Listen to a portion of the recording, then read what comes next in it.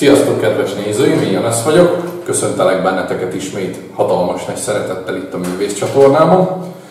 Sajnos véget ért a nyár, megjött az ősz, most is elég borongós, esős idő van odakint, de ez nem veszi el a kedvem a munkától, sőt, ahogy sok más művésznek nekem is inkább ötleteket ad. Ezért ebben a mai videóban egy nagyon jó pofa őszi tájképet fogok majd nektek készíteni, vörös citrom és aranyszínekből.